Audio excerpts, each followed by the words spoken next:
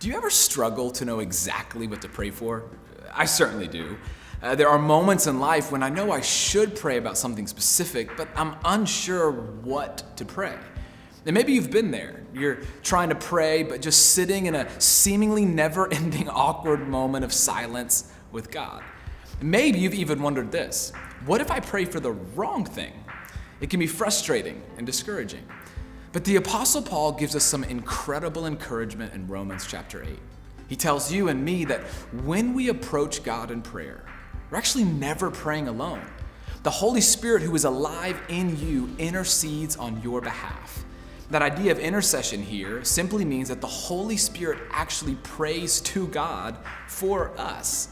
Though at times we may be unsure of what to pray for and how to voice our requests, the Holy Spirit knows what's best for us and asks God on our behalf.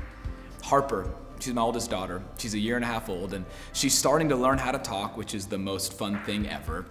But in her limited vocabulary, there are these moments when she struggles to articulate exactly what she wants.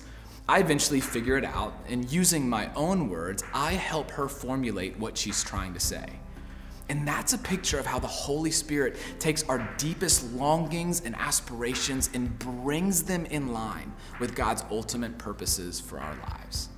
Frustrated because you don't know what to pray for? Don't be.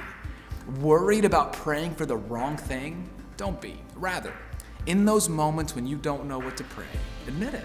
Tell God. And in the same breath, tell God that even though you don't know, you're confident that the Holy Spirit does and you're depending on His perfect intercession to align your heart and life with God's perfect will. Because remember, you're never praying alone.